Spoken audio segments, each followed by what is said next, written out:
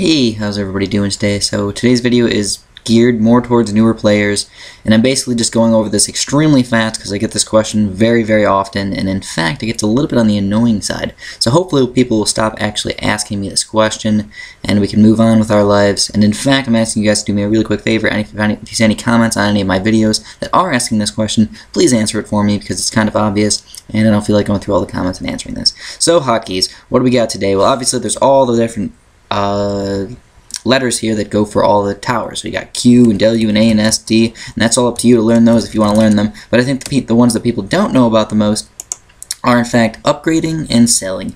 Uh, there's also one more hotkey which is speeding up and starting rounds which is spacebar. So I think that one's kind of obvious. I think most people know the, know about that one.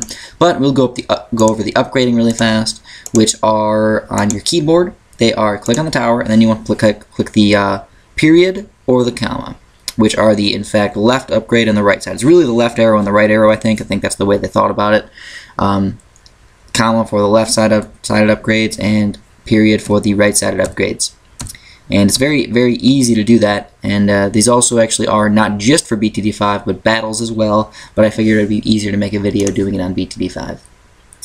So uh, that's the hotkeys for upgrading. Hopefully this is uh, helpful to some of you guys. Obviously, I don't think it's too helpful for most people, in fact. And uh, then we got the last one, which is the selling button, which a lot of people don't know about. And in fact, it took me a while to actually learn about this. How do you sell things? All it is is backspace.